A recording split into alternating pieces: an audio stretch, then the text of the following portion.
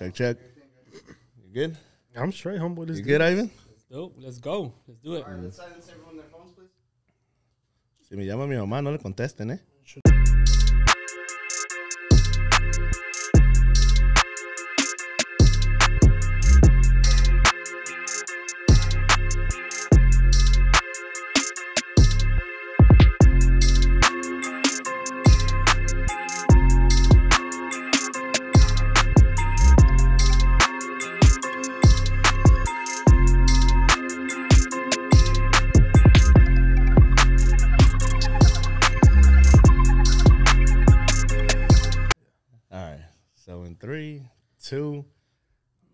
A Toast to Life podcast, baby. We're Sir, yes. if you if, if you watch this and you watch the progression, the growth, it's been a it's been a journey. it's been, yeah, definitely. It's been a dope ass journey, bro. Sometimes I want to fire you, sometimes you want to fire me, but I don't know. I don't want to fire you. I want to fight you, bro. together forever, fool for life. But you know, our podcast is usually based on the amazing guests that we have on. mm-hmm. Today we traveled a little bit. We're not in our usual LA spot, Definitely not. but we're sitting with this guy, entrepreneur, from nothing to something. Failed, succeeded, failed again, and still did it. He kept going back, took the punches of what life was, and right now he's making noise. And you, you have pretty much. I think everybody has already ate at, at one of these restaurants. Definitely. Not If you just one If you're having, you're doing something wrong. Not just one, not just two. Oh no. Son tres, güey, no mames. But the owner of Tacomasa Cantina, Mhm. the Blue Burro, Yes, sir. but the most, a prolific one and a famous one, Ya me man. dio hambre solo pensando. The Buffalo spot. But we have Mr. Ivan Flores in the house, baby. Oh. But technically, we're in his house. Oh yeah, yeah. Well, so Casa, su casa. Compórtate. sí, sí, no, no, no va a desmadre, güey. How you doing, bro? I'm doing great, bro. How you guys doing? Man, we live in life. How was the drive? Actually, not that bad. I think everybody's still recovering from a crazy weekend, so not a lot of traffic. No, I mean we were quiet the whole time. We're just. No, I'm just. Nah, but we've been good, man. I mean, the life is always gonna throw the ups and downs. You're gonna have some good days and bad days, but I think if you keep on going and you look forward to the following day, you can't complain when you wake up. That's right. You at least got to wake up. It's a blessing to wake up, man. Every Yeah. above ground. Everything. Exactly. Right. There you go. Right. But you are one of one of the ones that can really talk about from nothing to something, from having bad days to having some good days and great days. Because you're not you're a business owner. But everybody sees this. How we always say it. Everybody sees the result. But no one sees the hard work it took to even get started. No one sees the failures. And if we can just talk a little bit about that, take a little bit back. Where did you grow up in? Where were you born? So for our audience and your audience that doesn't know, Right. where were where were you born? Well, I grew up in San Isidro, it's right on the border of Tijuana, Baja California. So I ended up growing up in both sides, right? Um, uh, we were in Tijuana part of the time, and then in San Isidro the other time. So my mom, she ended up having to cross the border. My dad ended up leaving her with four of us, right? She was pregnant from me, right? So she had to cross the border, uh, Section 8 welfare, and that was kind of how I grew up. But I also saw the part of growing up in the rancho in Tijuana when TJ was a whole different level, right? Yeah. So so that's kind of my childhood, right? Um, I grew up in both both sides, and um, I was very blessed to have such a an awesome mom because she played both roles as a father figure and as a mom. She was very tough with us, obviously, four boys, right? Yeah. So so that was my childhood. We grew up in Section 8. We grew up in the streets, uh, gang around the gangs, around the, the drug dealers, polleros, narcos. That was just what we saw as kids, right? Yeah. But um, even though we were, um, I won't say poor because poor, you know, it's a mentality. I guess it was more like a broke, right? Um, but at the end of the day, um, I think I had the best childhood every, any kid can ever have, right? Um, we had a big bondage between me and my older brothers. I was the youngest one. Um, and um, they were always defending me. Obviously, my older brother played the role as the father to me, right? So, because my mom had to work, etc. Yeah. But uh, that was my childhood. We grew up in the streets, fighting, playing soccer, ditching school. Um, we kind of took care of each other, and then other kids that didn't have their father around, just their mom. Their moms were working, so we made like a clique, right? We were not gang members, but we were. We had a strong uh, uh, unit between us in the apartment. So Oh, that's dope as yeah, fuck. yeah, I. That's that's very important. Like growing up in in like an apartment complex. I grew up in a comp- Yeah. uh, apartment complex, and you always have the little the little click, like you say. It's just you guys learn off of each other, and I mean, my dad was always working. My mom had a, uh, another job too because we had to Right. obviously pay rent and everything. And I was always on and about. Like I, I obviously didn't did school, but after school, I wouldn't even go home. I would just go with my friends, ride skateboards. There's a little church right there by the house, and we'll just we'll do kid stuff, you know. yeah. And I feel like you learn a lot from that. you learn a lot from your surroundings, especially as a as a young, as growing up. Like in if the hood. yeah, thing. like if, if you grew up in any sort of a uh, apartment complex, you know you're you're bonding with these other kids, and it and it starts with playing tag, playing freeze tag, cops and robbers. cops and robbers, um, all those like childhood memories that it becomes a commodity of who who you're around with, and and it's crazy to see when life progresses the journeys that you have. When you get into junior high, you get into high school, you know you make a choice, as without really knowing. When you get into high school, you make a choice. That's right. You're gonna go with the cool kids that are misbehaving, being cool, the the funny kids, you're gonna go with the nerds. But no one wants to go with the nerds because then you're not, you know, you're not gonna be known, you're not gonna be liked. And for the longest time, people chase to be liked. I want to fit in. I want to be able that. I want to make sure I fit in. And the sad part, the sad and crazy part is, some people still carry that into being adults. Oh yeah. I want to fit in. I want to be liked by everybody. And unfortunately, you cannot be liked by everybody. You cannot make everybody happy. But it's just the way life goes. But young as a four, were you as let's let's go into high school. In in high school, what is that? 14, about 14, 15 years old? 14, 15. Yeah. Who were you then that's different now? You know, who was I then? I, I was very, um, we call it rebelde as a young kid. I, I was a drug dealer at 14 years old. I made a decision in sixth grade. I made a couple of decisions in sixth grade. I didn't want to go to school. I was gonna become the biggest drug dealer, and and that's what I that's the life I grew into, right? And um, in high school, that's what I was doing. I was just going to school to find connections to sell drugs. So I was the the the kid that was always getting into trouble, getting searched at school by the sheriffs because of what I was doing, right? But I always I always had a heart for people, and I was always taking care of people, no matter the lifestyle that I chose, right? Yeah. So I was always very respected in school. I was one of the you could say popular kids, but um, that's who I was in high school. Dang. And I only went to high school a year because I got my gr- my wife now, girlfriend at the time, pregnant. So I had to drop out of school by then. What age? Uh, 15. So he was not selling candy at school. He was selling something else. Exactly. Sheesh. God. Damn. so- At 15, you became a father. At 15, I became a father. I got my girlfriend pregnant. So obviously, I had to find a job, right? Yeah. So I had to drop out of school. I couldn't even find a job because I I didn't I needed to go to school, so I had to go into home studies. But I was failing that because I checked out of of a um, education system a long time ago. So it was hard for me to progress on it, right? What move forward on it. was that because of your surroundings that you were about, or like what? At, at that young of an age, I know we're our brain is still developing, Right. but what brings you into that type of decision and lifestyle that you know? I could say for me as a kid, I would I would have feared to even get in trouble by my, by my parents. Right. We just put up yesterday. Growing up, who were you more scared of, mom or dad? Mom was mom was a regulator, and dad was just the final boss if things got out of hand. Yeah. You know, unfortunately, like you didn't have your dad present, but your mom and your older brothers play that role. So what what what gets a 13, 14 year old kid into that type of lifestyle and that type of decision making so young? You know, so I look at it now as an adult, right? Mm-hmm. What I went through as a kid, you know, there's many factors that played into that.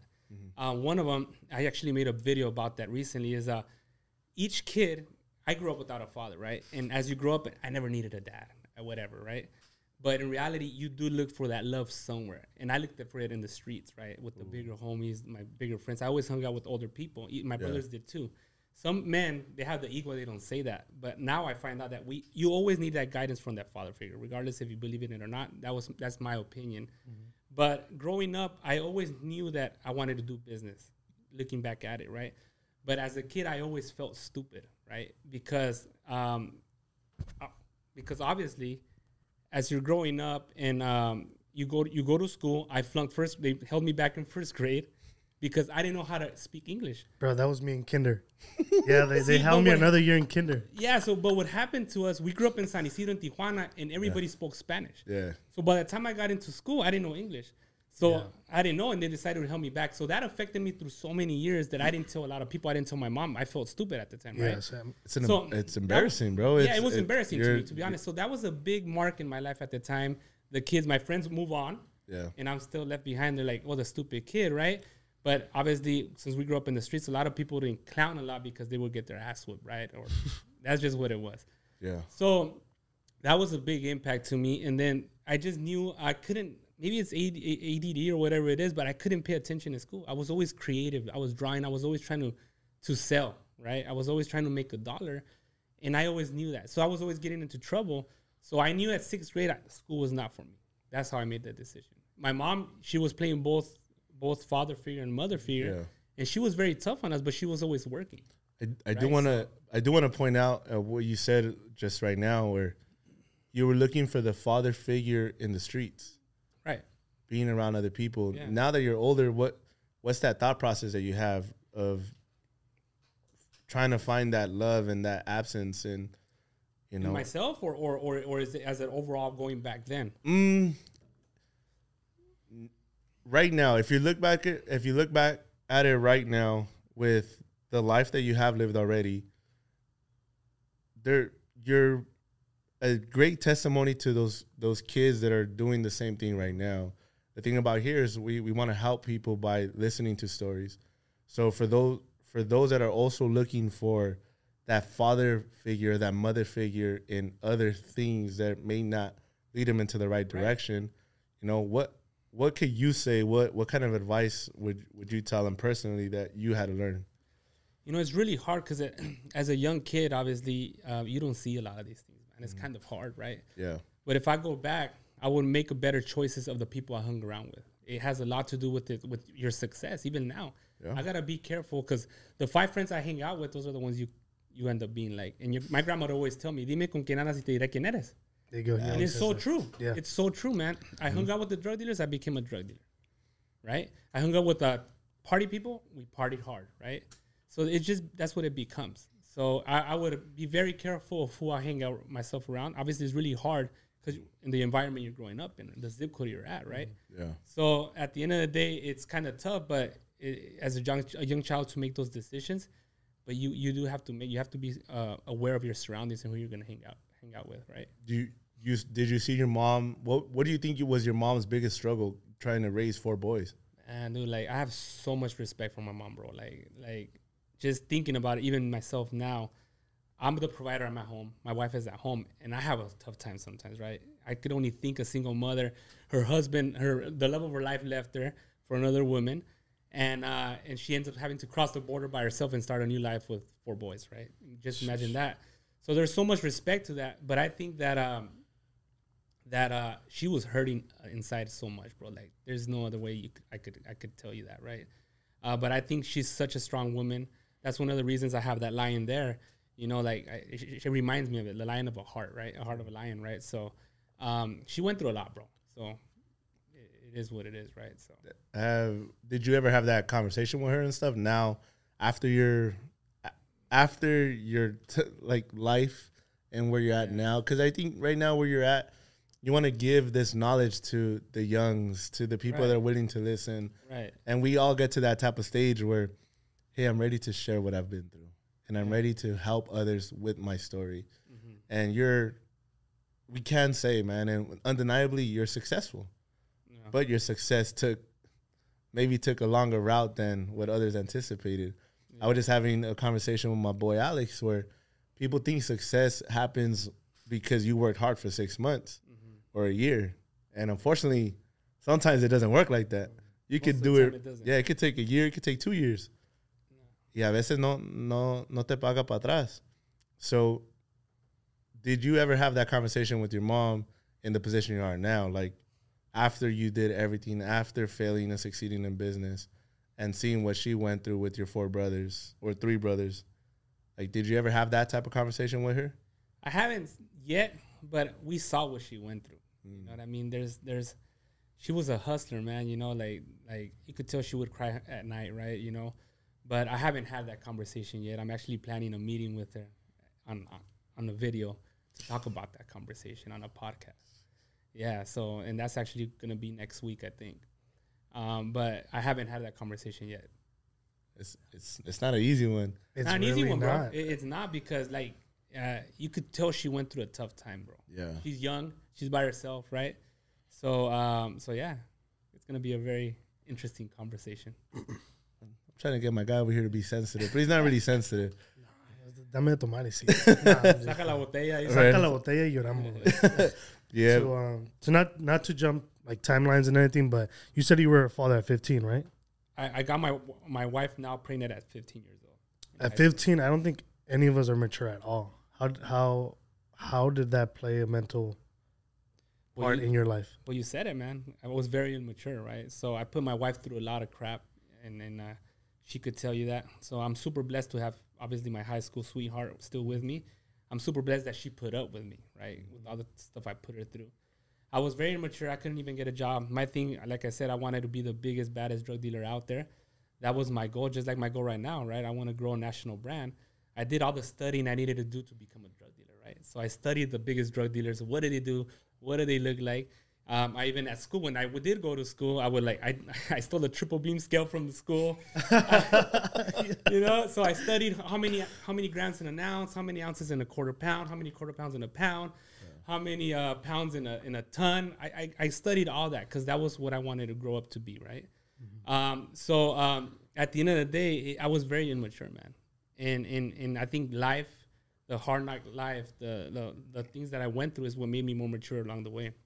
And at the end of the day, I don't want to jump too too forward on this conversation, but um, God saved my life, and that's what made the big switch in my twenties. Yeah. When That's when I matured. Yeah. doing this at at again, so we don't keep jumping because there's a lot. There's a lot There's, to. there's there's, a a lot. lot Yeah, to there's- ask. Yeah. There, there, there's a lot to your life that maybe a lot of people don't know and are gonna know because you're putting out content daily. Um, what what would you say was one of the things you got illusioned by being a drug dealer and living that lifestyle that you came to realize was not true? I think the same thing that's right now, taking life by my own hands. I don't answer to nobody. And just and the risk tolerance that you have there, you have it as an entrepreneur. The only difference is oh, over there is greater. You get killed or you go to jail, right? Yeah. pretty much. So to me, entrepreneurship, yeah, it's risky, but the adrenaline it has in it, I love it. I mm. still miss the game. Don't get me wrong, like the parties, the the atmosphere you're in, right? The, you call the shots. It's a mm. lot different. So over here, it's the same thing, but you got to deal with with state laws, regulations. You know, the stuff people do in the business world. It's a little Yeah. bit more cutthroat. They're just wearing a suit. You know what I mean? So so it, it's it's a little bit different environment. You gotta be there. I call it. You know, there's a wolf dressed as sheep here. Mm. You know, so I gotta just be more trucha. But that's what kind of got me into the the drug game. I, I love taking ownership. All my life, I've always been told like pretty much you're stupid. Uh, here comes the Flores brothers because my mom was single. She would leave us at the ranch because she had to work. I love my grandparents. They're the most humble people. They taught us how to work. But we always felt like the outsiders, right? My dad left us. Okay, these guys don't have a father. Um, their mom has to work. Um, they're they're gonna end up to be nobodies. Yeah. So all that, I'm like, I'm gonna prove to people who I am, and that's what it was. So would you say that becoming a drug dealer and, and becoming this powerful person masked the emptiness that you were feeling inside of not being confident, not having what everybody thought you should be having, and having that power created fear in others that not that they can't tell you anything. Do you think that having being in the drug game like that, having that type of power, just masked what the inner child of you was was missing? That's a great question, bro. Um, I think part of it, yes. I think growing up in the streets, and most kids grow up in the streets, we have that um, that emptiness and that vacío, right? And and you look for it. Some some people look at it for drugs, right? Yeah. Become alcoholics or drug addicts.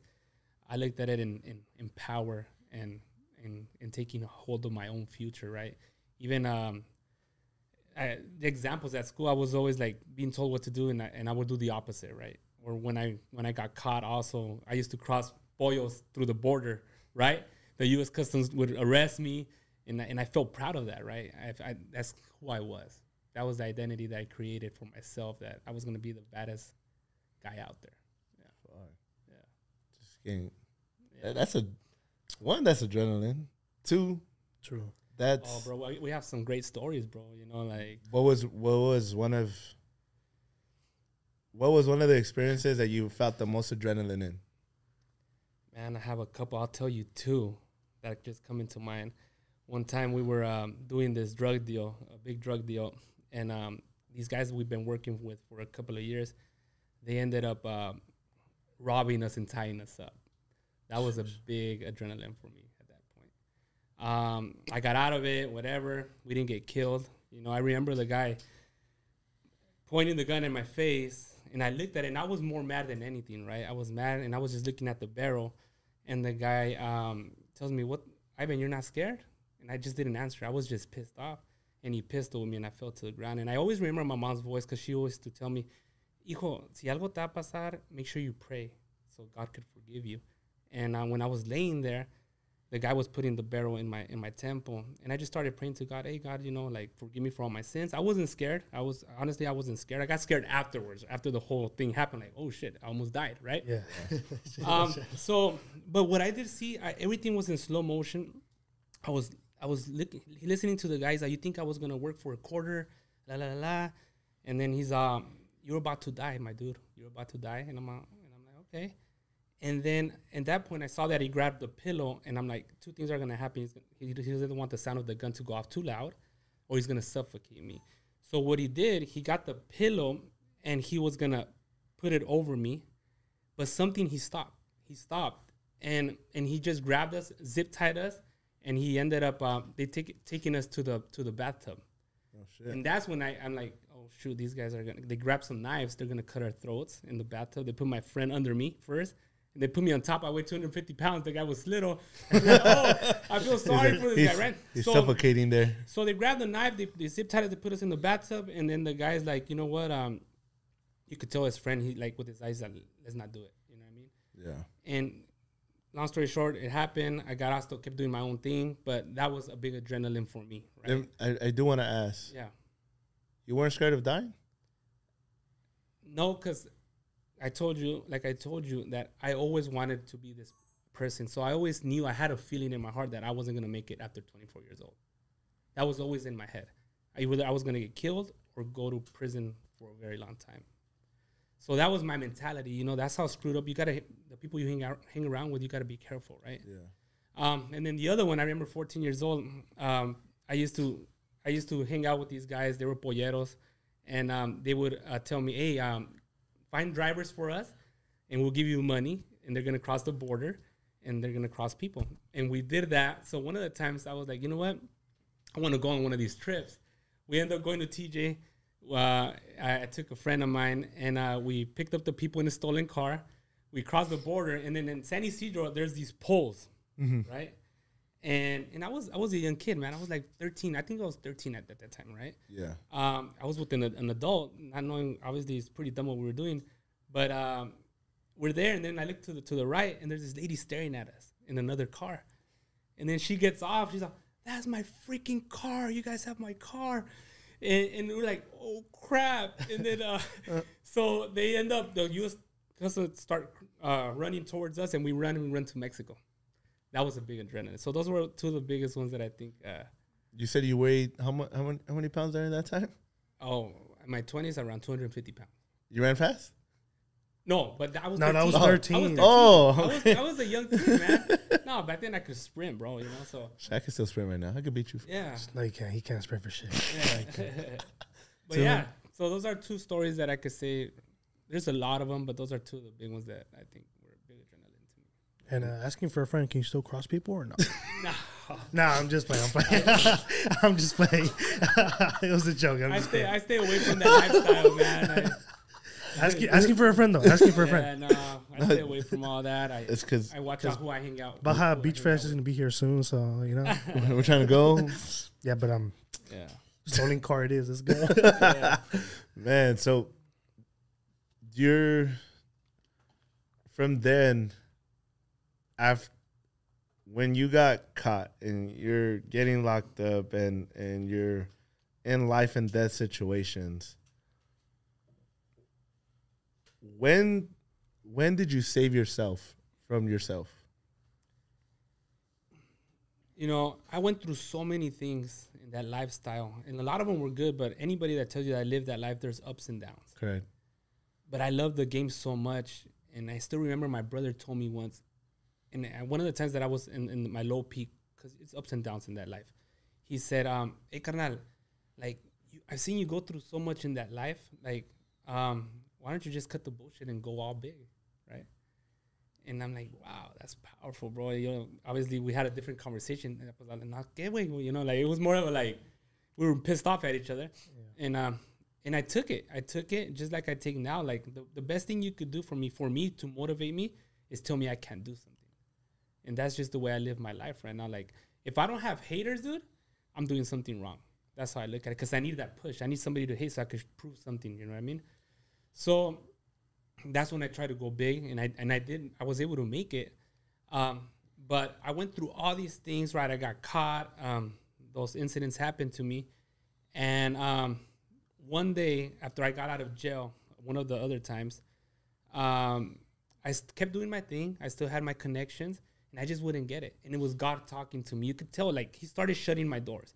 People started getting caught. People started like some of my good friends are dead, um, desafortunadamente and just my whole circle around me, things were getting shut. God was closing doors. I didn't know at the time it was God, but you could tell something was going on, and I was like, man, something's going on. Maybe they're they're gonna raid us or something, or Yeah. do they have a case against me because everything was just getting shut down. Yeah. So I get out of jail at one point. I didn't do much time, you know. I, I, I ended up having to do my time uh, at the end at um, they call it a halfway house, um, which it wasn't as it was it wasn't good to be honest because they, they give you more liberty to do dumb stuff.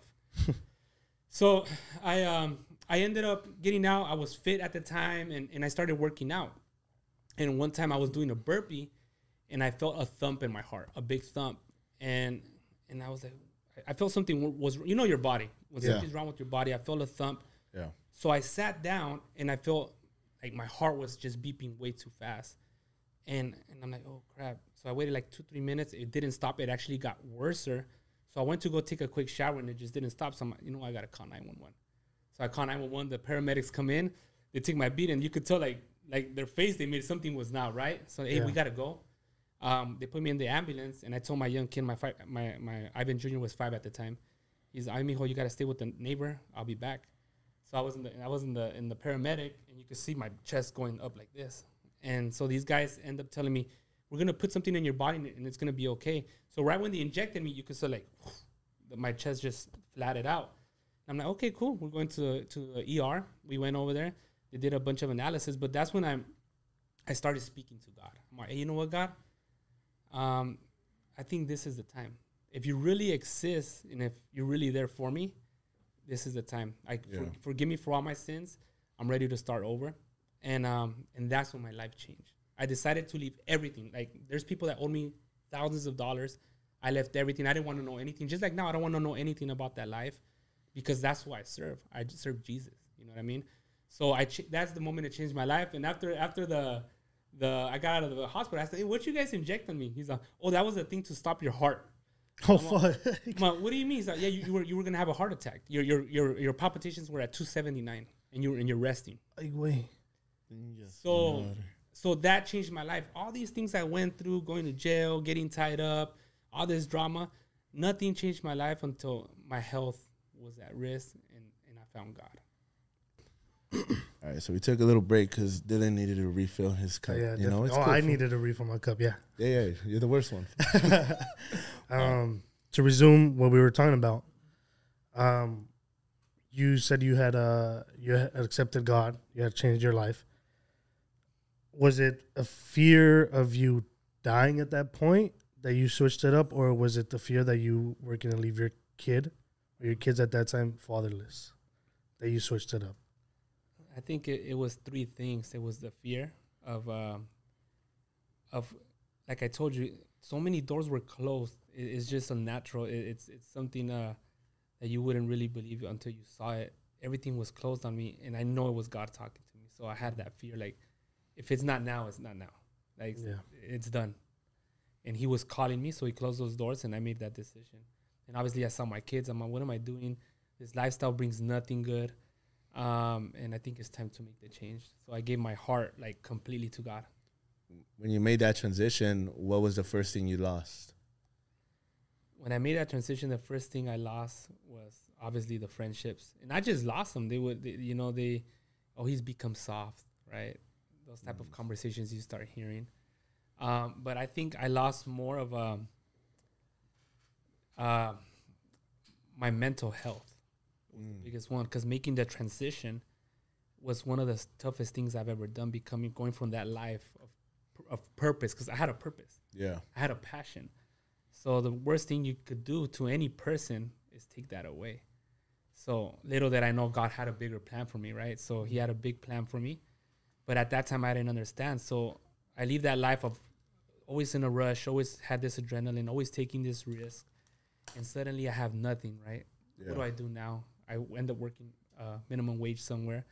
I felt I felt destroyed, man. You know, while my kids, my while my friends were driving Benzes, Beamers, you know, partying, popping bottles, and I'm like, what am I doing? Driving fish around, right? Um, so I think that was one of the biggest things. My mental health. I started getting anxiety, some depression. Obviously, when you hit, when you go through those mental health issues, especially as a man, right? And this is just me personally. You don't want to share especially with your wife and kids. Oh, definitely. So in reality, you're alone, bro. As a man, you don't want to say that. Yeah. You know? So you're going through that, you're going through weird thoughts, um, waking up with night sweats. And and I went through that alone. I went through that for like probably like eight years, right? So um and then um God it was God's process for me. Mm. So that was the biggest transition for me, losing that the mental health and all that. It's tough, man, especially when Yeah. when you get to acknowledge when you get to acknowledge what mental health is. Right. And you know, growing up even as how you said as a man, we're we're men in this room that when we go through a tough time, we ain't going to share that with anybody, not even our closest our closest friend. Why? Cuz I don't want him to see me that I'm weak. I don't want him to see me that I'm down right now. Because what do people do when when you're down? People pray on it. That's right. I could take more. Or you know what? Fuck it. He's down. He's losing. I'm gonna kick him on the floor now. Now he can't. He's not gonna get up, right? But the most powerful thing now as a man is being able to talk about your emotions, right. about your feelings, because if you're able to say that yourself, then what can the next person say about you when you said it already yourself? Exactly. You can't take anything away from me. 100%. You can't tell me uh, I, I'm a cry. You can't tell me I'm weak. No, man, I'm vulnerable. But my vulnerability will not be taken as a weakness. It's a power, it's a strength. Because how you said earlier, when someone says something about you, takes everything inside you not to respond back. 100%. But don't make no mistake. You try it, you will find out. Yeah. But I mean, one of this this quote that I've always said and resented with because of Kevin Gates is like, if you entertain the clown, you become part of that circus. So you can say this A, B, and C about me, but if I entertain you, then I be I'm just like you, and I, I'm not that, and I won't be that because it it took all this that we had to go through just to get to here. And imagine if we start regressing and going back to that same lifestyle, the same mentality that we once had, which is I want everybody to fear me. Mm-hmm. No, it's like I want everybody to respect me. Whether you love me or hate me, that's up to you. But just respect who I am and what I do and how I do things. And if I can inspire you to to do whatever you feel in your life that you need, great. But if I inspire you to not be like me, hey, then I still did my job, right? Um, that's one of the questions I did want to ask when from earlier. Now where you're at right now, would you rather be feared or loved by everybody? That's a funny question because I asked my team the same thing, and and and um, and I think um, I still rather be feared than loved because love uh, people look at as a weakness at one point. I think uh, weakness um, people end up preying upon you. So I tell people, even though I'm Christian, as long as you don't touch me, touch my family, everything's good. But don't confuse uh, that kindness for weakness, right? Because um, I think the the scariest people, the people that um the toughest people, are the ones that um that are not um how can I say that that that are not acting tough, right? There's a beast inside of them that you got to be careful not to wake up. So so at the end of the day, I keep to myself, man, and and I rather be feared. Yeah, we would rather have both, but I've seen what love does a lot of times, and it's it's, it's it could be some weakness in there, and people take advantage of that. Yeah. So that's just my personal opinion. Um, but yeah, so going back a little bit to that transition, uh, I did go through um, God when he's when he, when God said I'm gonna save you again and be born again. I think He really meant that because I started like really bad, man. He took everything away from me, like my pride, my ego, right? Yeah. Um, financially, everything, right? Even my wife was like, "What's happening to you? Like you're soft a little bit." You know what I mean? she was used to this guy like rugged, right? Like Yeah. in the streets. And now she's like seeing this guy that loves God and prays for people, puts hands on people to pray for them, and and um, it was just a whole different life. And, and and and and I'm super blessed that I went through that. I thank God every day that that He polished me that way, right? So That the polishing part. I love That's- that. I love that. part, yeah. You're And we still go through that. I still go through polish. it's daily, man. It's daily, it, bro. it's daily, it's weekly. I can say right now, hell yeah, we're saved, bro. But I can't tell you that on Saturday we're not gonna sin and get and retract just a little bit. yeah. And I always say sometimes things happen and you get out of character.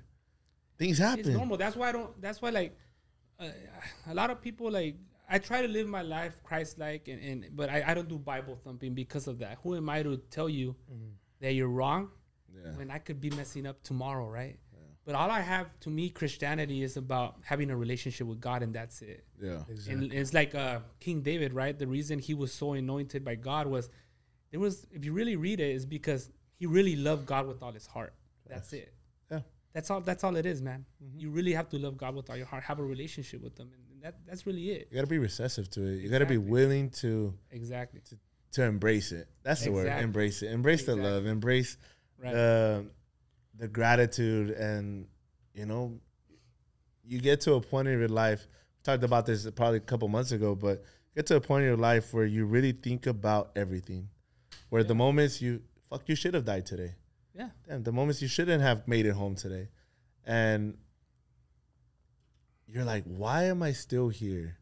You ask yourself that question. I believe when you go through a major transition whether whatever industry you're in or position you're in you go through that transition of and you ask yourself that question why in the hell am i still here today?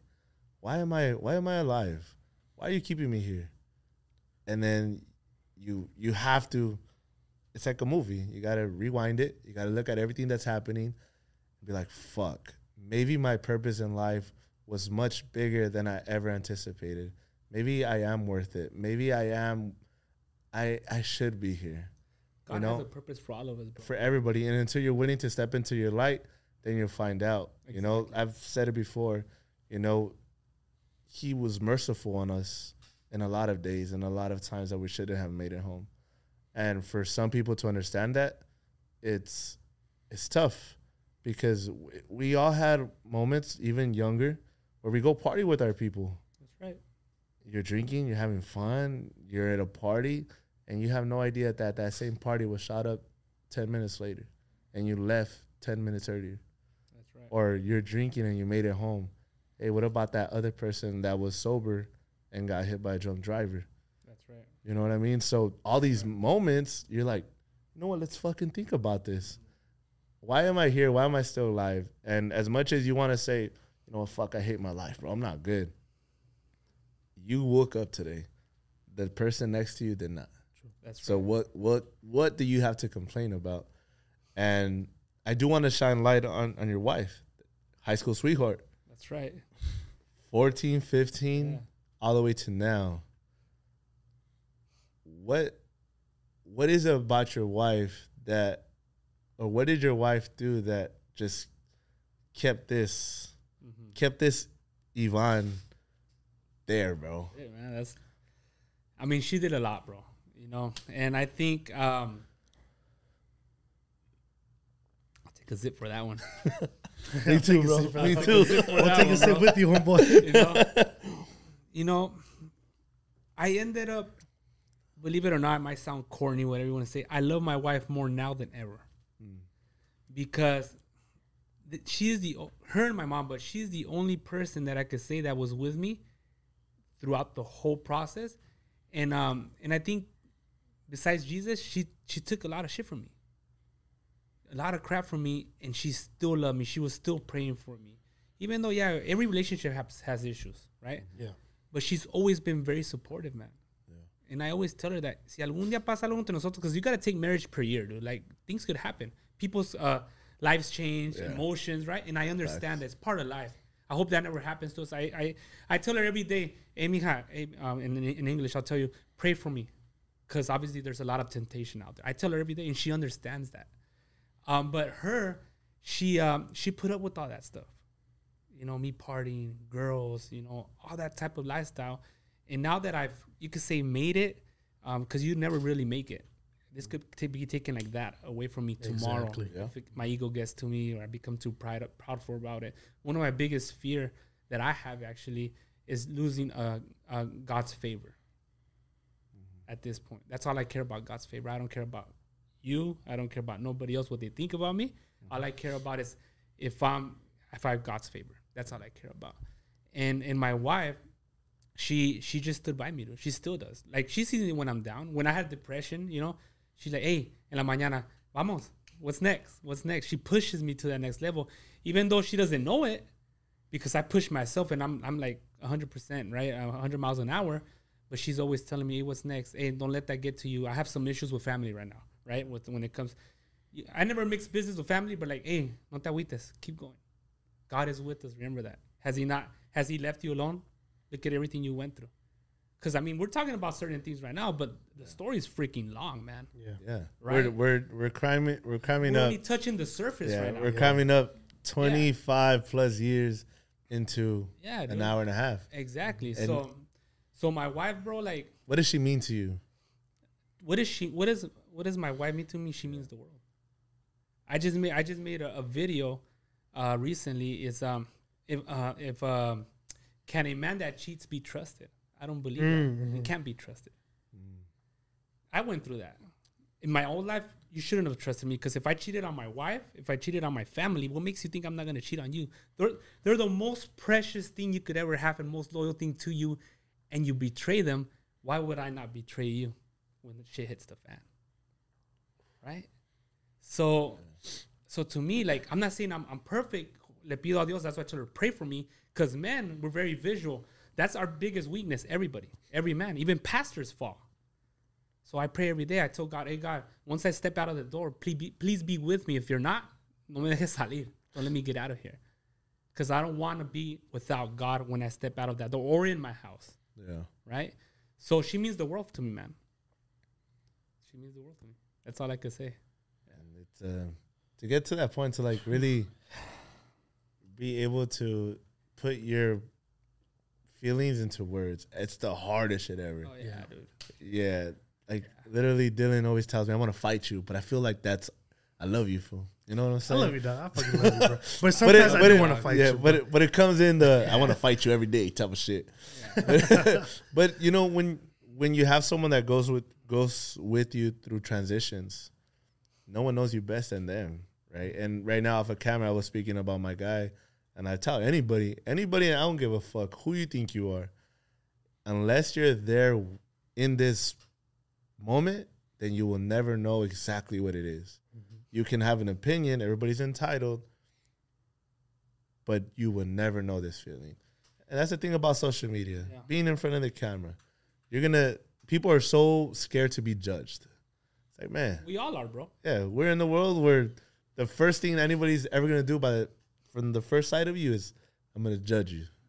And I'm gonna judge you without knowing. I think every video that we put out, there's always there's always those people, those haters, you can say, Yeah. That always judge, no matter what. Oh, your hat looks wrong. Look, for You're, years, you're doing this, you're doing that. yeah, for years, everybody told me your story needs to be heard. And and in my old life, I used to live by this by Tupac, right? Only God could judge me.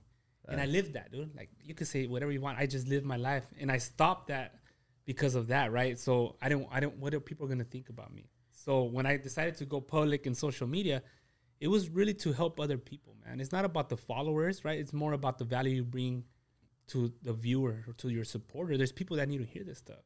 Yeah. So so at the end of the day, um, I think you gotta put that away of being judged because we're all gonna be judged, and I think at the end of the day, only God can really judge us because everybody has their skeletons in the in the closet, bro. Oh hell yeah. Everybody, bro. I don't care who you are. You're trying to paint this picture in social media in your personal life. I laugh at it, bro, because there's a lot of stuff I went through, and I, I share a lot of my stuff. But I could tell you right now, and I'll say it in this podcast, I'm not perfect, and I will fail you someday. You know what I mean? That's Yeah. just the reality of the fact. It's So I told my brother, "Hey, bro, I heard this. I think it was JC. Is um, I hear um, this person's talking about you, right? And he, and he's uh, I'm not worried why he's talking about me. Why is he talking about me in front of you, right? So what I see a lot right now is your loyalty. Where's your loyalty to people, right? We have some issues right now, and I'm like, hey, there's no nobody should ever feel, at least in your tight group, in the main people. There's certain people you don't have a big group um, that nobody should ever feel safe talking about each other. And if that that does happen, you're not in the right group. And I told my brother that I'm like, bro, you know what? As brothers, if a cousin or anybody comes and talks shit about me or you or my other brothers, between us, we could have our own battles. We could have our own our broncas, Yeah. our, our own our own situations. Yeah. But the outside world should never find out about that, because that's a weakness, bro. Yeah. And if anybody comes and talks shit, that means you, you, you better stop it right then. And tell, hey, you know who you're talking to? that means your kingdom is getting infiltrated. And- exactly. And, once that once you expose that, you know you don't have a tight circle. exactly. And that's the thing. Like we, what what some people don't understand, and then they get to understand is once you're in here, eh, we're locked in. yeah. But the moment that is questioned, I'm sorry, there's a door. Mm-hmm. And we won't reach out ever again and we won't allow you back in. Why? Because how you said, I want to feel safe in the room that I'm in. And I want to know whatever we talk about, Right. it's not anywhere else hurting hearing from other people. Because again, then what kind of what kind of friends are you have? What kind of family? Blood or blood or not? Blood or not, bro. blood or not? matter. You can have we Right. you can have the tight relationship with someone that's not even close to being your blood, but because the bond you have, that's even greater than that. And people hate on it and pray on it because Right. they want to break that. And just because you don't have that relationship doesn't mean I can't have it. People always want to break that. bro. We, we have something we have something in my family always, and you heard it before. 'cause He's always at my house sometimes. Whenever someone talks about someone else, we just tell them, "Hey, no hables de alguien que no se puede defender ahorita." Alguien que no está aquí. Yeah, Yeah. exactly. Right. So Either that or like I literally just tell them like how you said, know who you're talking to right now. exactly. And the situation that's happening right now too that I'm in. Like I even told my boy, and I've told his parents, and I've told some of his close. If I hear something bad, I'm gonna shut it down as soon as it is, Right away, bro. and it has to happen with with your friends. I told I told my guy, I was like, bro, like that should be that sh- you shouldn't even ask for that. Yeah. That type that type Oh, of no, response that should be immediate, right, bro. immediate. Yeah. You know, like if you stay quiet in a situation like that, that means you're approving what's going yeah, on. And you're not. And, And it's what- hard. Like you rarely see yeah, that. what's like that word? Hey, but your yo no parents, dije right? nada. Yeah, but you didn't stop it either. Exactly. Exactly, yeah. Por, Exactly. porque no lo paraste. No, no, es porque no. We're in the same situation now. Now we're in a situation bigger that you were there when this person did. It's puro chisme. puro Drake said chisme. it. Drake said it best. yeah. Guys talk more than girls these days. That's true. That's true. No. But you know what? He said it in a different to word, but combat to combat that, you got to keep your circles very tight and Tight. very, very, very minimal, bro. yeah, you you created a you created an empire. You're creating an empire. You know, the Buffalo spot is not a one stop shop. It's not a one location and done. It you have We're going national, bro. national, everywhere, every city, different states. So it you um you've created, and even the life that you were present before, you needed to have a circle that was tight enough to grow. If you could put both worlds together in a sense, what's the one thing they both have in common? Take a sip of water. Hold on. Yeah, let's take it. It, it's tequila. Don't worry. No, So- I'm just playing. So, what exactly is your question when they that they both have in common? What's one thing that the way you ran yourself in your past life and the way you Or run your business now? Okay. What's the one thing they you would say have similarities or in common? Okay. So there's a couple. Okay. Hard work, there's there's let's go back. Faith, hard work. Because if you have faith and you don't work hard, you're not gonna go anywhere. No te va a caer mana del cielo, right? Like God, oh, God shit. talks about that, bro. Hey, yo, that's true as fuck. you That's gotta true. work hard, bro. Yeah. Hard work, faith, hard work, persistence, discipline, and consistency, bro. And I've always been that. I've always, I've always had some type of faith. I've always worked very hard. I'll outwork anybody, bro. And my team knows that. And my key people, the people that are, are in my circle, they're the same way. And that's why we've been able to build these brands because of us, the solid ones that are in the team, right? So that's really what it is. See, people criticize like, oh, the entrepreneur, oh, this, this guy's making this money. And at the end of the day, like, did you really go through what I went through? Did you go through the depression, the anxiety, losing family because of business, right? Using everything. Making a decision between uh, buying a gallon of milk or, or, or sleeping in a restaurant, right? Or, or paying your employees. Those are the decisions a lot of people don't talk about. All the entrepreneurs that you see on social media, a lot of it is fake, bro. It's freaking crazy. The, the, the Ferraris, uh, bro, like that's nuts. Talk about the real crap that's going on right behind the scenes. Like, in, like anxiety and depression, I could guarantee you, there's a lot of people going through it. There- Eh, there, make no mistake, Because people fake it, man. very People. few could make that. I want. I want to have the thirty second perfect clip, but then I'm gonna finish it and I'm gonna feel so empty in my life. yeah, That's the one thing. When we walk out of here, we feel good because this is therapy. This is free therapy. We don't have to go pay Right. two hundred dollars to go speak to someone. And I encourage people to do it. We hear every a lot of people doing it, and it works for them. But if it doesn't work for you, if it's not for you, there's other options. There is the gym, right?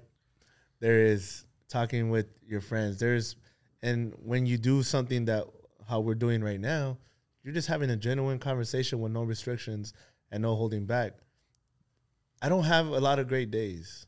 I have a lot of bad days, but the great ones that I have make up for it, right? And we don't deny it. Today I'm, I don't feel good, but it doesn't it doesn't mean I'm not gonna get up and go do whatever the fuck I gotta do. Exactly. Especially when you're trying to build something. When you're trying to build something that no one ever believed in or no one believed Right. in you, hey, well you gotta make like when you open your first restaurant. I don't I don't know exactly, but I would say probably out of hundred people, maybe ninety didn't believe in this was gonna work out. most of them didn't believe it, man. You know, Th- that's just the reality, right? Yeah. Like, este, este morro, what- what- what is he thinking, right? Yeah. Yeah. I, I still would I still don't understand and and I mean this is just my belief. I don't know how anybody could go through depression or anxiety without God. I, I don't I don't I don't I can't see that man because if it wasn't for him, I, I don't think I would be here. I would have taken a whole different route. You know, and, and um and even that, right? Going through the entrepreneurship of of the faith that you're gonna make it, seeing the vision from here to there, and everybody's telling you no, even my mom, she would tell me, Hey, that's the riskiest thing you could get into his restaurant, which is true. She did that out of a place of love, right? Yeah. Don't get me wrong. But a lot of people don't understand that. And you have a vision and a mission, and it takes a lot of faith and a lot of crap to go through. And I feel like at the end of the day, it's not you trying to prove yourself to someone else or to anyone. It's you're trying to prove yourself that you can make it. Exactly. You know, Exactly. it's like like you said, the worst thing you can tell me is that I can't do it. Right. You don't want to prove them wrong. You want to prove yourself wrong. Exactly. Like I can fucking do this shit. I can go through hell and then come Mhm. out like nothing. So yeah. I, I it's, it's just that um if God gives you a purpose, how can you not do something without it with it, right? We all have a purpose, and I think we're selfish when we don't execute. And I know this is my purpose. I know for a fact. that it was restaurants, it's branding, it's creating a team, leading a team, taking people from uh, my story, from a bad life to this, what I'm now, giving people that opportunity. Hey, if this guy could do it for a kid from San Isidro, how can we not do it? And that's what I want. You know, like there's a lot of kids out there or friends that uh, in my past that like, hey, Ivan, how did you do it? Hey, I still remember like, hey, bro, like you could do it. There's nothing Yeah. special about me, bro. I, I flunked first grade. I dropped out of high school. My vocabulary, you guys see, I'm not. There's nothing special. I'm not using all these big words. So at the end of the day, you could do it too. That's the That's just the reality of the fact, right? that's that's the truth. That's the truth. And what people don't want to hear is the truth. true. People want you to paint it perfect that, hey man, you just got to study, work hard, and they'll be there. I am not scared. I'm not scared one bit of the repercussions that come with after I say something. That's good. I say this here, and it's here to stay forever. Social media, your video will be out there until you're dead and even past it. That's okay. someone told me that have you ever thought that your content, if you have kids, your content is a journal and a diary for your kids to see who oh, you were and how you were during those times. That's what I tell. uh, That's one of the main reasons I started social media to leave that. It's yeah, it's it's uh you know actually right now that, that we took a little break, um, I was thinking about that and it was like you know what, my life isn't meant for you to like it. My life isn't meant for you to understand it. My life is my life. My journey is my journey. That's right. If it fits you, cool. And if you can't understand it and you don't like it, hey, I'm so sorry, but I'm not because that's a you type of feeling, and Yeah. you have to deal with that on your own. Right. Because there's gonna be friends, how you said earlier, friends come and go. Some people get taken, some people just fall off. And Dilan's one of those that reminds me every time that, you know, it's they just they're just not part of your journey. Mm-hmm. Our guy Jose said it one time where he was the door that you're about to walk in through, not everybody can fit in there. Not everybody can walk through that same door in your next chapter.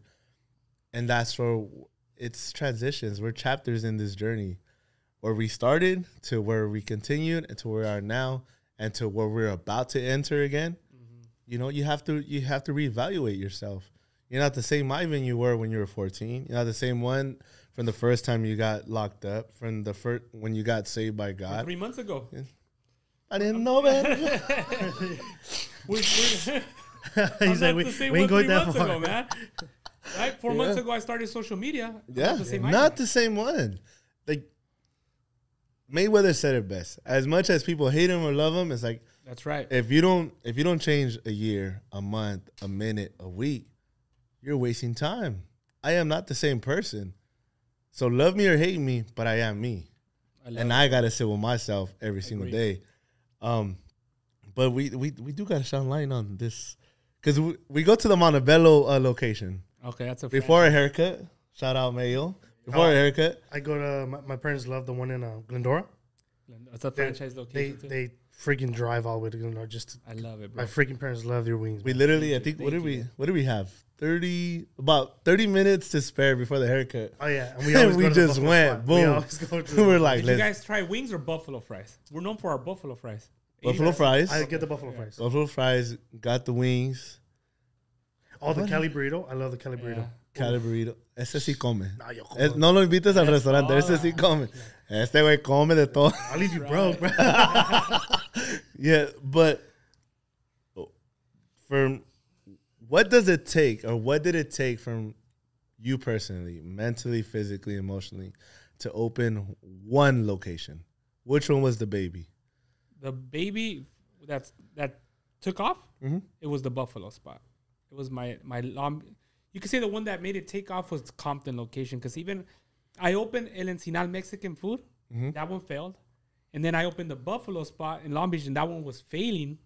And then with the two months, I found it in Craigslist an ad on the Compton location. When I opened that one, that's when they both took off. So the one that you could say the one that started the Buffalo spot was the Long Beach location, and then the one that took off was Compton.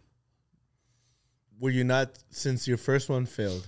You were you not were you you weren't hesitant or scared to open the Buffalo spot? I mean, you always you're always scared, bro. You always have fear, but it was just determination of being somebody and and trying to find how am I gonna substitute what I used to be to now, right? Like to build something for my family, for my kids, for myself. Yeah. Obviously, I didn't want to be part of that old life again. So what am I gonna do? And obviously, I, I'm like I, I said in some of my videos, you know, there's gonna be so many failures, but quitting is not an option There quitting is not an option. You know, the only way you fail is when you quit. When you decide to throw in the towel, that's when you're done. What about when if I tell you, you know, bro, I'm I'm a little tired. I need time. I don't use that. I don't let my team use that word tired, the T word here, bro. We don't there's no such thing as that. There's no such thing as time, the tired. You gotta go all at it. hundred percent. You can't stop. You have said bro. this before. You gotta learn have how to. to. You have to learn how to rest, not how to quit. Exactly. You could take a day off and just recoup and, and, and, and start thinking, right? Because you need to, you need to uh, rethink things, but you, you can't quit. You can't stop. That's a. I mean, uh, shout out Jose, Jose. No way, best trainer in the world out here. But you know, there's and we've done it ourselves. I think I'm the only one that doesn't show when I take breaks, but our team knows that, you know, we don't miss a Monday. We never have in almost a year now. But some people don't know is sometimes we we stack our episodes in that same week or two in one we- weekend, mm-hmm. and like I my team knows, hey, you know what, guys, we've been going hard for two months. We've been going nonstop. Hey, we're gonna double up this week, and then we'll be good for the next two three weeks. Breathe. Mm-hmm. All you gotta do is breathe. Take it. Take a couple days because what happens is also shining light on mental health. You know, you do get tired. You do go through through stress. Your body can only take so much non-sleep, right? If you're three four hours, yeah, it's cool. It sounds really amazing, but no one knows after effects Right. you know and the only people that get those to get to see that side is sometimes your loved ones you don't want to talk to them you don't want to communicate you can't be affectionate you can't you can't be emotional to anybody and takes you're a just toll on you. in a way. it takes a toll. So sometimes you do need a break but one thing you can is i even if we take a break we don't record this weekend doesn't mean we don't post. It doesn't mean we don't get content out there. Because if we stop working then what are we fucking doing? We're making an excuse why not to show up today. Mm-hmm. I don't care. You feel you feel sad you feel lonely you feel angry anxiety work is there it's up to you to go get it. And that's that difference maker. We've i told you right right now earlier it's a head to head. It's a competition. As much as there's room for people to eat at this table it's cool but it's a competition. It's it's a race. And if you take a break like uh what is what's that uh the turtle and the rabbit or whatever? Is it the Yeah. rabbit?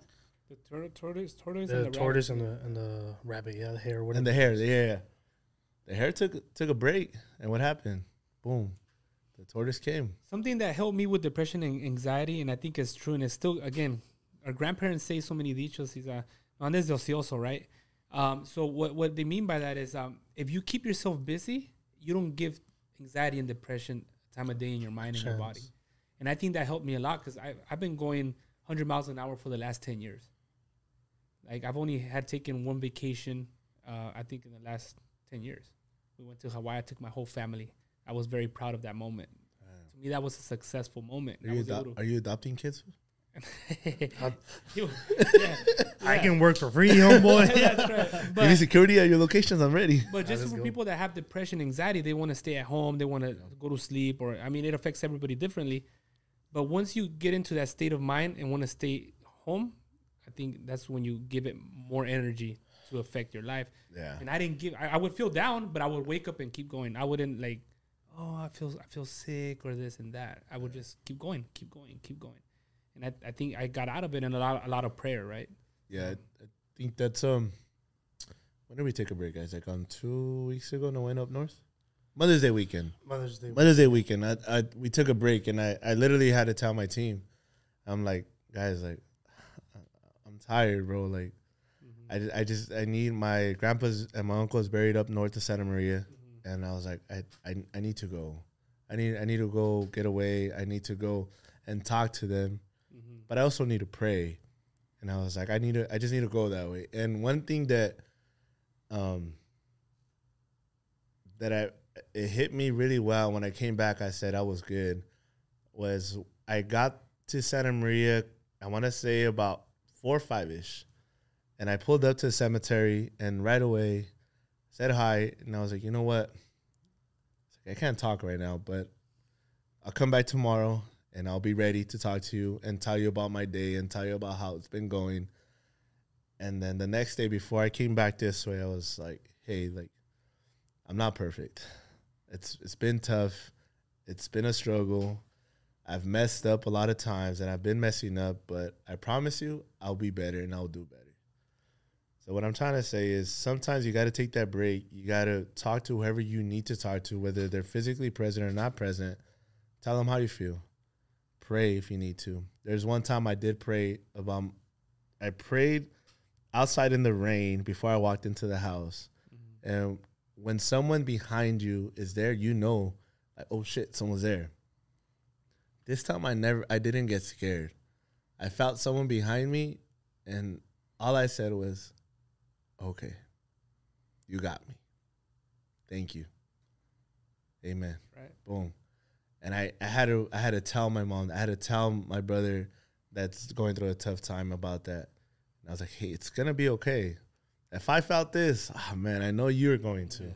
and uh, so to the whole point is, it's okay to take a break, Yeah. but it's not okay to make an excuse. It's not because once you make one excuse, you make you make the next one and the next one, That's and you have three different franchises, three different, diff, each one is is their own is their own name and has their own uh, how do you put this? Had entity. entity. Yeah, yeah. To take to make one takes a lot, but to make three, there's some there's a common denominator. And it's the man behind this whole thing, right? But what does it take for this person, this man, this denominator to make everything work? What is it? What is what is something that it takes from you that no one knows? I mean, you know, it again is my faith, man. My faith goes a long way. I think that's what it is. You know, I have faith that things are gonna be okay at the end of the day. No matter what I go through, I'm gonna make it happen.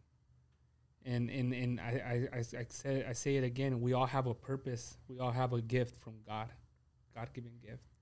And when you find that gift, you you take it, man. You take it and you go a hundred with it. Yeah. That's what it is. And I, this is my gift. This is what God had prepared for me. I truly believe that, and and just how things played out, right? So, so I think I was destined for this. I think this is the I'm on the right track. I, I mean, it hasn't been easy because um, I think every great entrepreneur, every great successful person, they have to go through the struggles and the storm. Because after the storm, is when you see greatness and you see what what people want is God. God wants them to see what He's done in people's lives. That's what I think. And by me being here with you right now, I know I will touch some people. Some people like ah, you know, uh, talking about God, but at the end of the day, I gave His message out. Yeah. And that's what's needed. You're, God used me for that. you're a vessel. Exactly. What Yeah. is what is the saying? God gives uh, God gives his soldiers the toughest battle or something. Yeah. God give the, God gives your gives his toughest soldiers his toughest battle because exactly. you know you're gonna make it out. Like there's always sunshine at the end of that fucking Oh, storm. dude. Hell yeah. like all you gotta do is just keep hold on. Look at at, at, at the at, at the hardest times of my life, I was- as a Christian, that transition, um, I would spend a lot of time praying to God, crying, dude. Like there's so many things that I went through, but I remember at one point, um, I, I told God, um, I wouldn't I wouldn't tell him why like why me, cause why not me, right? But I'll be like, hey, Padre, like, help me through this. Like, how do I get away from this? What, what's going on? And then I always read this part in the Bible. I think it was Peter, or yeah, I think it was Peter. He said, uh, "Don't." He said it in Spanish because I read my Bible in Spanish. He said, uh, um, "A mí no me crucifiquen como a mi Dios. A mí cruci- crucifíquenme boca abajo." You know, to me that was powerful. It's like if you're gonna crucify me, crucify me upside down because I don't deserve to be crucified like Him. So who am I to complain about those all those issues and, and compared to those guys? Those guys were persecuted. They guys were, those guys were crucified, right? So I'm going through depression, anxiety, losing family members because of business, or or just a lot of things, right? But these guys are getting crucified. So I always took that to heart. How'd you lo- how how'd you manage that though? You that's a big thing. Losing family members because of business. How do you how do you manage to keep on going when you believe that the people closest to you, blood related, should be the ones supporting you? how do I manage that? I mean, there's no easy way around that, you know. You know, a lot of people, and I heard this. I don't remember who sent it to me, but he said everybody talks about cutting people off, but they don't talk about the process of going through that, cutting peop those people off, right? So I lost, I lost brothers, bro, because of this business. I lost cousins because of this business. You see, when you start growing, it, I, I think what happens is that even friends, you start growing. It's not that you don't want those people around you, but you're just going to a whole different level, and those people don't want to catch up and you can't afford you're such you're such um, focused on your vision and your mission that you cannot afford to deviate from that and focus on if if they're gonna make it or not either they step it up or they're gonna stay down there that's just the reality it's not cutthroat that's why people oh entrepreneurs are cutthroat it's not that dude we have a mission and a vision that we gotta accomplish and we have no time for all that other bullshit. We don't. I don't party, bro. I, I think after 10 p.m. there's nothing good out out there. I don't go out there. Like you said earlier, you could get hit by a car, drunk driver. You could get in a fight, or somebody like ends up saying something to my girl. We out to out in the club. What's gonna happen, right? Yeah. As a man, I gotta handle my business. What if that guy has a gun and shoots my wife, shoots Yeah. me? Literally, a, So I avoid all that crap, dude. Like Yeah. I'm so focused, bro. I sleep at the same time every day. I wake up at the same time every day. I pray. I work out. I read my Bible. I read my book. I go to work. I, I, I have my routine dialed in, bro. I have no time to. Oh, you're feeling this way. I, I don't have time for that. I just have a mission. I have a mission to serve God, the purpose He gave me, the God-given gift, and that's what I'm gonna do in this world. what time do you wake up? What's your routine 4:30 like? in the morning. 4:30 in the morning every day. Shit, I'm barely going to sleep. no, like respectfully, I'm barely going to sleep. I, I, I, He's not lying. my thoughts keep me up at Yeah, night. I really I, can't. I don't. I, honestly, guys, I don't really sleep because my thoughts are always running. Like uh, my thoughts are always running. Like, what am I gonna do next? Who's gonna be after me when it comes to business? Okay, what's what's going on here? This HR issue. Who's wants to sue me? Um, who lost his his his his drive with the camera? You know, what, what content is in there? the Like. I'm always thinking of everything. I'm always thinking of everything, guys. Yeah. And that's an entrepreneur. It's, it's, it's not, Yeah. I'm not special. That's just a, a Okay, so why for the for these people we always we always post our our podcast five in the morning because there's either drivers that are driving already at that time. There's people on the East Coast that are listening to this, or there's people that are are not right in the head and wake up that early to go to the gym. I don't know how they do it, but they do it. But you you get up at four thirty in the morning every day. Why do you do that? I do it because I love waking up early. That's the time I'm able to spend time with God. That's the most special time for me. Everything's quiet. I'm able to cry. I'm able to tell him, hey, I have this fear. I'm scared of this. What do I do here? How do I handle this? That's my that's the best time. And I do my exercise. So I just spend time with God. My whole morning I spend time with God and my affirmations. What's your important of routine? What's what? Well, How important is routine in your life? How important? It's the, the that's the biggest thing. It's it's a routine. That's the pillar. That's the pillar of everything. And I heard this uh, this podcast or it was a YouTube. The, the the best thing you could do is start your routine, but start by doing your bed, because you already accomplished one thing. When you accomplish one thing, your whole mindset changes. So there's been days I miss my routine, like when I travel, right? And um and I, I feel different. Like I feel like I failed at something. I I- I need my routine. Yeah. That's and if you study every successful person, bro, they have a routine.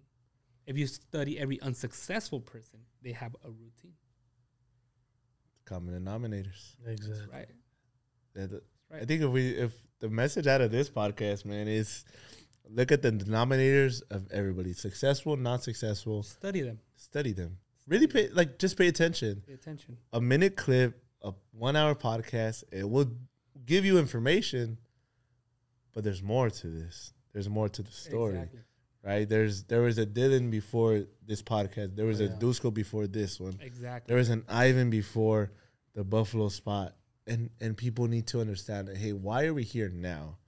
There's a reason why we're here first. We give it up to God.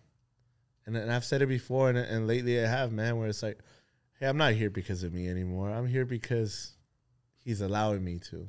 And because my message isn't done. We had a I want to say like two, three days ago. I didn't even tell you, but this guy just messaged me, bro, and he was like, What do I do? I'm done. I want to quit. I can't no more.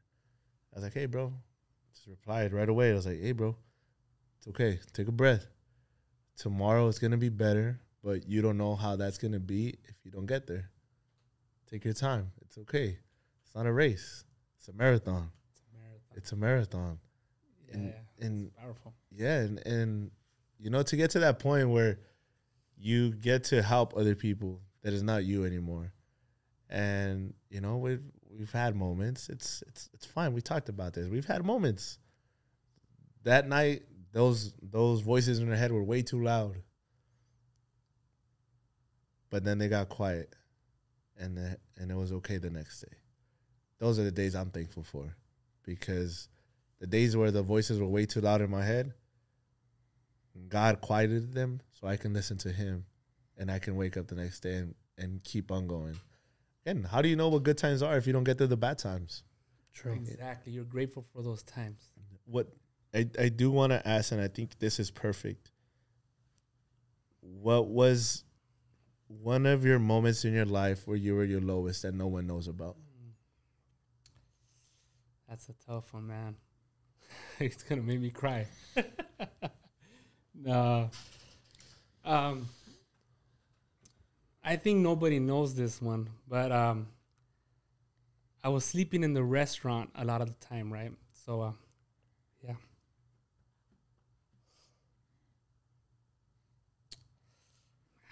I don't know if I could do this, bro. Hell yeah, you can, bro, because it's a safe space. You're around people that love you and care about you. Yeah, so so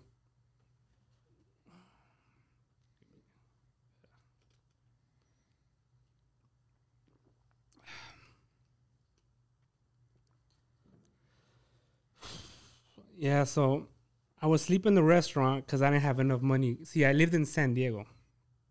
So I opened the restaurant in Long Beach. And my my kid was born at that time. So I I didn't have enough money to to um to drive back right at that time. So I would sleep in the restaurant. And the times that I did decide to drive back, not having enough money, I would just drive back to see my kid asleep. And those were the toughest times I had. Yeah. Just to see him sleep. What do you remember from that? Oh, it was tough, bro. I mean, it was. I f- It felt like failure.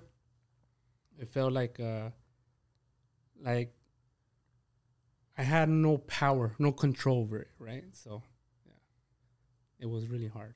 How did it make you feel? Well, I felt lost, bro. I felt lost. I couldn't provide for my family. I couldn't be there for them, and then I didn't have enough. I, I didn't want to show my wife what I was going through because she didn't know what I was going through. Like I, I'm that type of a man, right? Mm-hmm. You know, so I didn't want her to worry. I didn't want her to que me diga, ya viste, you shouldn't have done it. You know what I mean? So that was the hardest time. You're going through the. I was going through depression, going through anxiety, about to fail the second restaurant, and telling her everything's okay. And I would drive from San Diego, I mean from LA, Long Beach, two hours back to see my little kid just sleep, and then driving back up at five in the morning because I had to go to Restaurant Depot and uh, and start cooking. So for months, my little kid didn't really see me. Right. How do you get through this? How do you get to the lowest moment in your life Um, and get to a happier moment in a sense? God. There's nothing else, bro. I would spend so much time with them. I still do. I would drive and be crying like, "Hey, señor, sácame de esta. Help me out with this one." Um, but it was that, and then just determination that I was gonna make it happen no matter what. Against all obstacles, which I had a lot, and I still have some, right? Just Yeah. It's at a different level. But back then, it was really hard for me. Um, like we said earlier, this is a, um everything that's on the internet right now is a journal of what is gonna be later for our kids. You know, Yeah. something that you would like to tell your kid right now That's at that exact moment. yeah. Um, Papa está aquí. Don't worry about it. I got it. I got you guys. You know, Santiago at that time was a couple of months, and he still don't. know- He's obviously gonna. He's obviously gonna know now, Yeah.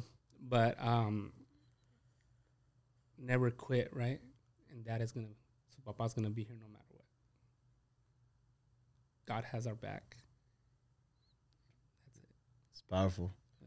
And you're creating that space for your son, your family, your wife, people that follow you. Mm-hmm. Like, it's okay to be down. Again, it's a power, bro, to be vulnerable. Oh hell yeah, but It- not It's okay. it, yeah. It's okay to feel down and, and it's okay to reminisce on moments that were the toughest and lowest. But do your part and help because you don't know how many other people are with are waiting to hear this answer and how many people may they rest in paradise were always waiting for it and never got it. right? Like I, I'm Dilan will not let me lie on this one. We were literally in the gym sauna, 8 p.m. Me and him were not even talking because we were just stressing.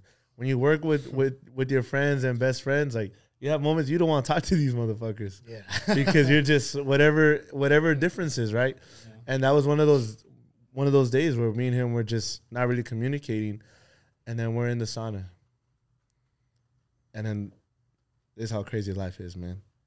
The person next to us, a girl, received their call Oh that her boyfriend just committed suicide, That's crazy, bro. And me and him are not even talking. Me and him are here in the gym. We're sweating on other shit. And she's getting a call that now they're blaming her because Wow. of you. This happened.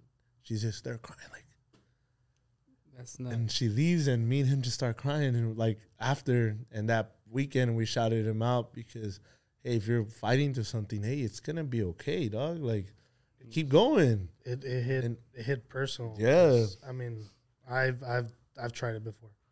yeah. I've I've done I've done it before. I've tried it before. For the power of God, I'm I'm still here. For the purpose of God, I'm still here. So it hit it hit different listening to that, and I'm like, what if my mom would have got that call? Yeah. That's right.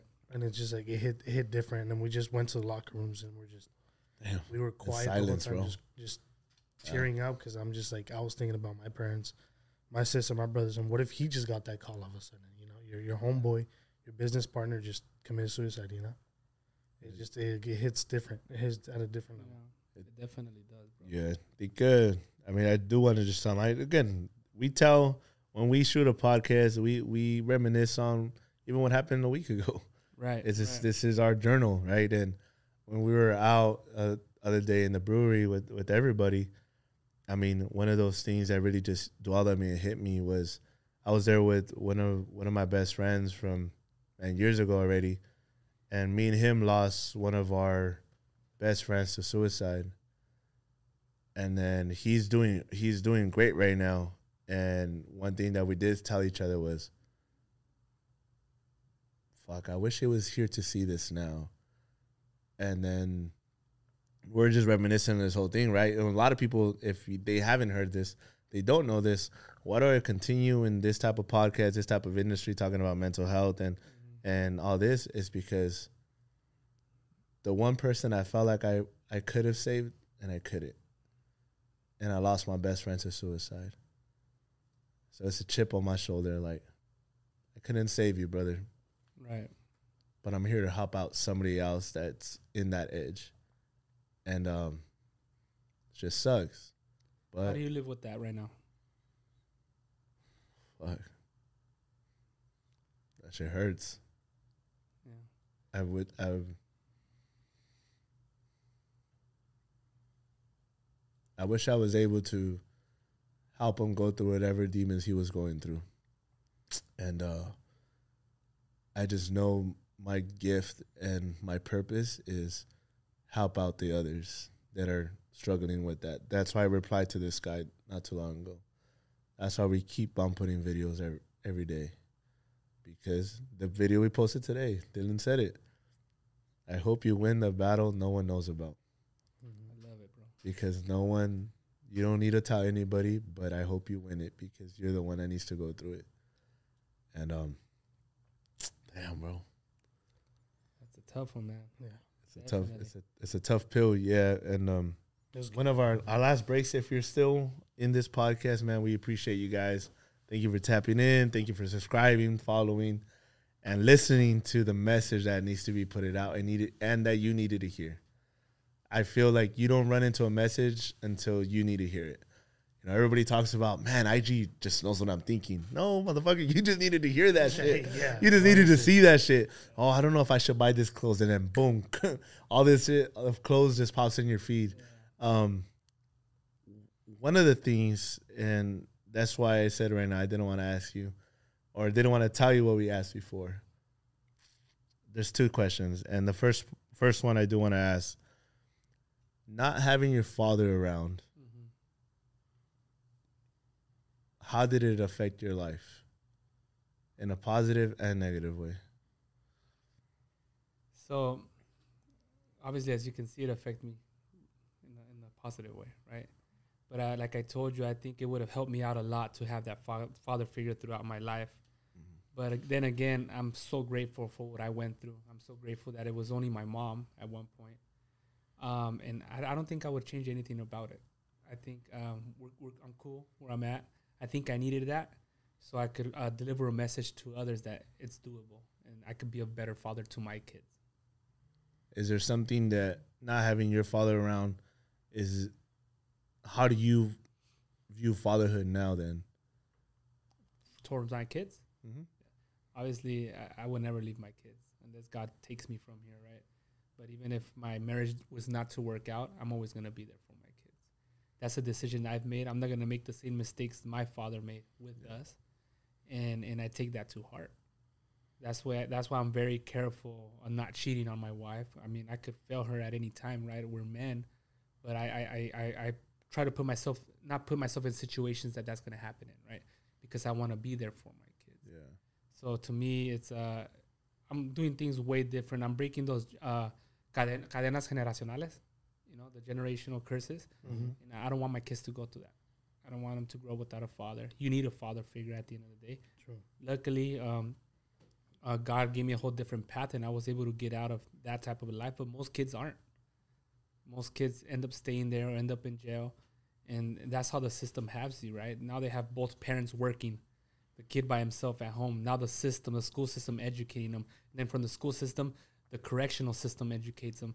So it, it is what it is. I feel that's kind of where they want us, right? So I want to change that game for my family, my my future generations. I'm the first millionaire in my family. So now the the rest of my generations have no excuse. They better become billionaires.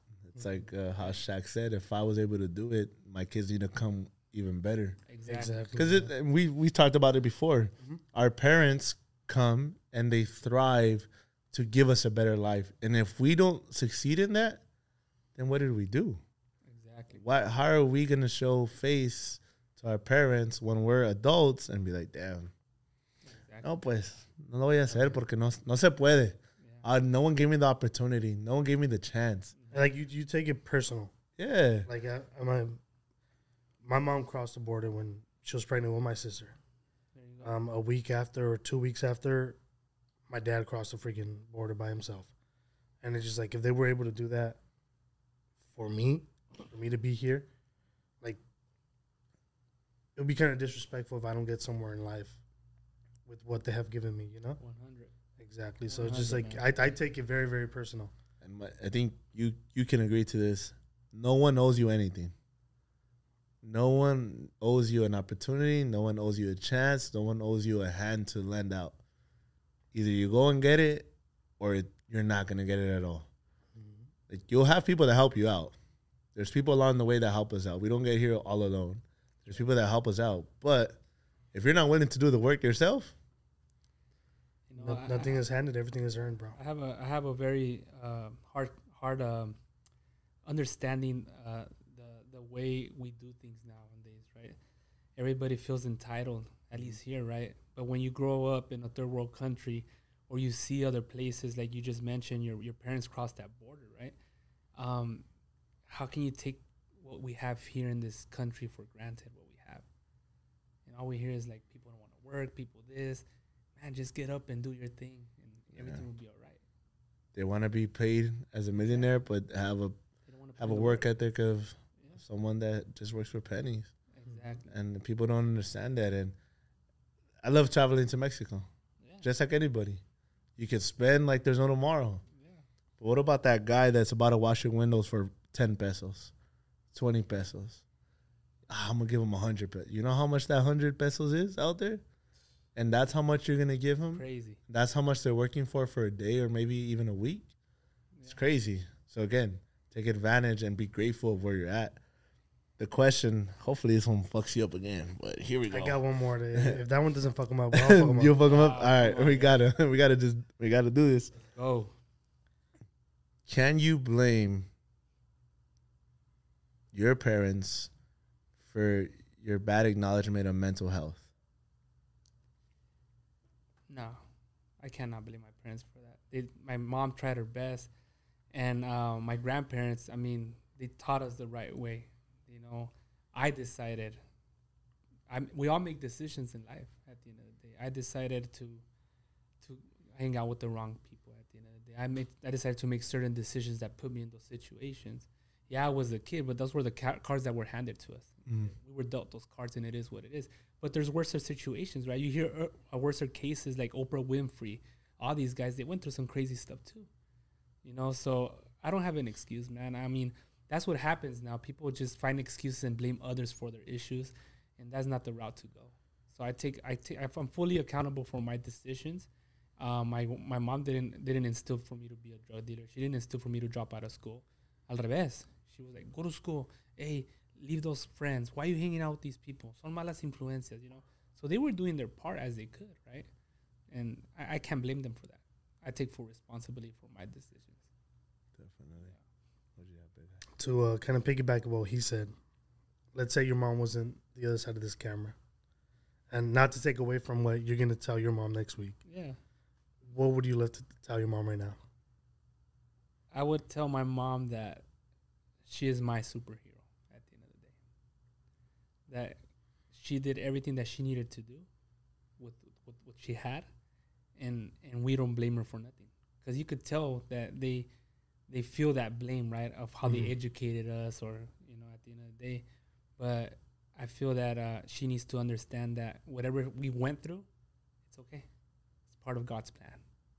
That's it. It's all said and done. You know, you know, it's like um, I made it, mama. That's it. I got you now. From moving forward, I got you now. That's that's I love that. I love Hell that, yeah, man. That that's a that's something to be so proud of.